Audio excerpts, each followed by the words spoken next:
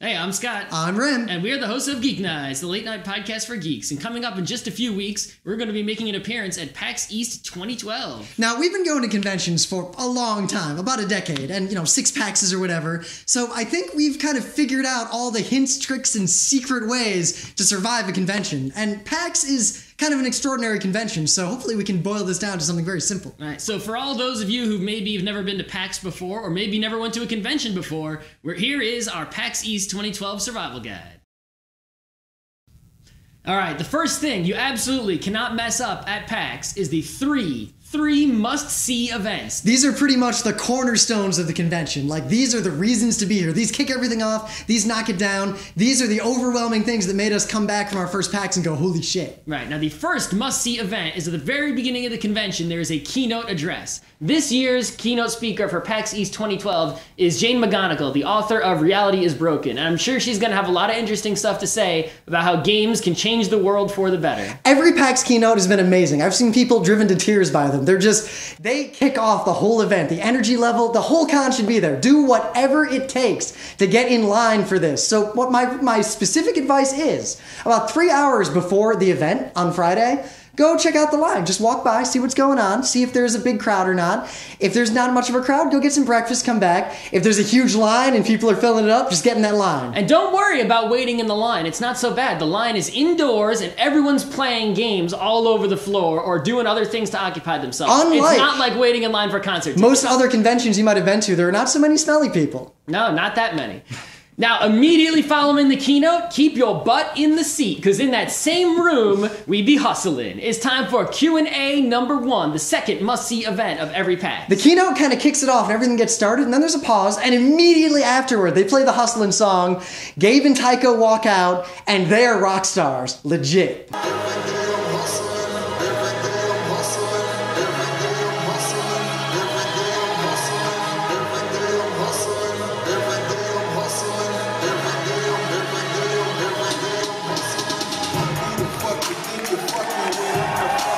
Legit, at least at PAX. Yes. Right. And it, this is our moment as geeks and nerds and gamers. And basically, you might think, oh, it's a Q&A. Maybe I'm not that much of a Penny Arcade fan. The Q&A is not like Q&As you're used to. Basically, everyone, they have microphones all over the place, and people just walk up, they get a microphone, they say whatever they want. And Gabe and Tycho say whatever they want back. People pull crazy crap. I believe one year we pulled an action castle stunt. That was we very try, popular. we try to do something funny each time. It's getting hard. We're running out of ideas, I think. Yeah. But anyway, Q and A one is absolutely do not miss it. Now, the third must see event is actually at the very end of the convention, the closing ceremonies, which is the final round of the Omegathon. Because remember, they don't announce what the Omegathon is until the very end. Everyone finds out simultaneously. it is like the best kept secret in all of PAX. And the real reason you want to go to this is that you've all seen The Wizard. Remember that tournament? How crazy that was? How you wanted nothing more than to be at an event like that? and then that? open the curtain, and holy shit, it's Mario 3. Well, that's exactly what you get at the very end of the PAX. They open the curtain, and holy shit, it's the secret game that they didn't reveal.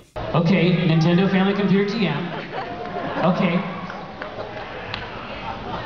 Oh, versus Excitebike. Until just then. Pretty much the keynote opens and the closing ceremonies close, and you have to go to these events. No matter how long it takes, just line up on Sunday, just hang out with people. We're usually just playing games in line, just straight up board games.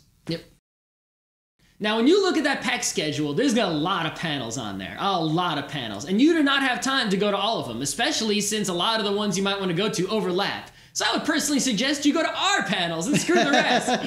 uh, but no, seriously, what you want to do is look at that schedule and pick out just a few, maybe less than five, five or fewer panels that you really want to go to. They are your top priority, and make sure you see them. Get in line in far enough in advance if there is a line necessary. They did say they're going to be much bigger panel rooms this time. They may not fill up. There's also one additional panel room. Yeah. So who knows what to make of that? But it is possible that incredibly popular panels with famous people or hot new games are going to fill up. So make sure if you really want to see it, you get in line early enough, go check out the room, see what's going on.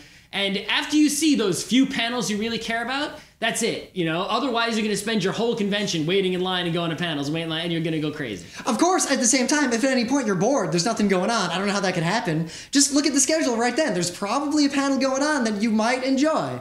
Also, if you're in a panel and it's not great, like you expected it to be awesome and it's just a guy mumbling, walk out. Don't even feel bad about it. Don't Yeah, waste PAX your is- PAX minutes. PAX is only three days. You have limited time of gaming awesomeness. Do not sacrifice even a second of your awesome PAX, right, to sit in a panel that you are not having fun if with. you come to our panel and you figure out that it's all a scam and we're totally lame, walk out. Walk the hell out. So you might not realize this, but if you want PAX merch, not Penny Arcade merch, but PAX merch, you need to get that shit on Friday immediately after the Q&A. This stupid scarf sold out so fast at the last PAX East, you wouldn't even believe it. People were buying the rejects. Yeah, I mean, you know, Penny Arcade merch you can buy from the Penny Arcade store anytime. They sell that to you gladly. But if you want the PAX with a number shirt, it's going to be sold out maybe by Friday night. Yeah, if anything has a PAX logo on it, it is sold exclusively at that PAX and it sells out at that PAX, never to be sold again. And you might regret later not buying it when you had the chance. So be sure to go and get one if you want one before they sell out. So now the most obvious thing on the PAX schedule that you probably don't want to miss are the Friday night concerts and the Saturday night These are some crazy concerts. If you've never been to a PAX or never been to a convention like this, they are not what you'd expect from a convention. These are full on, real deal concerts, and you want to go to both of them without exception. Right. Now, maybe you've been to PAX before and you've been to the concerts already. In that case, you know what to expect because they're mostly the same thing every time. Paul and Storm are gonna sing the same Seaman song they always sing. Yeah, I mean, you know, so if you already know what it is and it's not your favorite thing in the world, you might have your time better spent playing games or seeing some panel, right? Yeah, last But- PAX Prime, we skipped both concerts to hang out in tabletop all night. All right. But if you've never seen these concerts before, or if they are your favorite bands and favorite groups in the world and you live and die for them, do not miss the Friday night and Saturday night concerts. They are to behold. And we cannot stress this enough. If you have never been to a PAX before, these concerts are pretty much your guaranteed 100% programming. Mm-hmm. So every con you go to has like a dealer's room or an artist alley or an expo hall, but the Penny Arcade one is kind of the successor to E3. It is a spectacle. It is freaking enormous and posh. Yeah, and the thing is, a lot of people try to go in there and they spend most of their PAX time in the Xbox. I mean, you could wait three hours to play Duke Nukem Forever, or you can game for three hours. Yeah, you know, I think the thing to do with the expo hall is to find a time, see everything, walk down every aisle, look at every booth, right? And if there's a, an indie game or something else interesting you want to play, then play it. But I don't really think it's worthwhile to wait in line for multiple hours to play a game that is not yet released. Right? The main reason for that is you look out there are PAXs we've been at where people waited in the line to play Fallout 3, but now you can just get Fallout 3 and play your brains out. Yeah, right? the line for that Civ 5 demo was like three hours. But I now we Civ have 5. Civ 5, right? It's not that much later. Uh, so you have very few precious PAX minutes. Don't waste them waiting to play a game just because it's not out yet, right? Also, don't be tricked by swag. Most of the swag they're giving out is actually not that cool, and you really won't care about it a year from now. yeah, it's just going to be useless junk that you think is cool right then and there, and then you're going to bring it home and throw it out, and it's all just advertising. Except that Fallout puppet. Yeah, the worst part is that you have to carry the swag around with you, and that's really not fun when you're going to be walking all day. Especially at the new venue where most of your hotels are nowhere near the convention. Yeah. So we told you the absolute must-see events at PAX, but there are a few maybe-see events at PAX. Like, if the other ones are the 10s, these are the 9s. Right. So, you know, there was Q&A number 1. Now, of course, that means there's at least going to be Q&A number 2, right? Q&A number 2 is pretty much you didn't get enough Mike and Jerry at Q&A number 1, or maybe you showed up into town so late on Friday you missed Q&A number 1. If either of those is true, make sure you see Q&A number 2. Yep. Also, there is the Make a Strip panel, which is literally Gabe sitting there drawing Penny Arcade on demand. Right. That's really good if you're a huge fan of Penny Arcade, or if you really want some laughs, or if you really didn't get enough of Mike and Jerry. Or you want to see a Q&As. man who has the superpower of being able to draw perfect lines without it just bam, bam, bam. Yeah. Uh, always lots of crazy hijinks happen at the Make a Strip. Hot dog fairies. Hot dog fairies, dick wolves. You know how it goes.